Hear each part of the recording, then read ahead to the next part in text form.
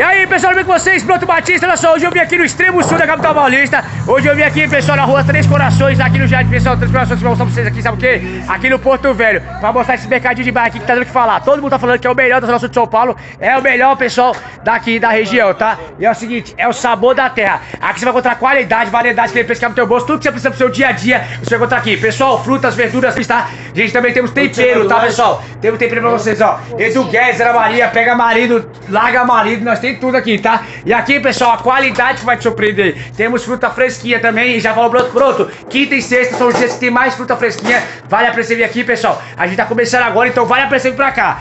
Pega aqui, fala que você viu esse vídeo, fala, nossa, estão mal famosos aqui na internet. Se você não vir, só você não vai. Pessoal, das 8 da manhã, tá bom? Abre às 8 da manhã, então você pode estar vindo aqui. É aqui na rua, na avenida, aqui na rua Três Corações, tá? No número 257, tá bom? É isso aí, pessoal. Então a partir de hoje, avisa a galera. Pensou em comprar, pensou no mercadinho, sabor da terra. E o resto, não tem resto, é ponto e já era. Agora eu vou desligar aí volto esse vídeo de novo, porque eu vou fazer minhas compras. Tchau.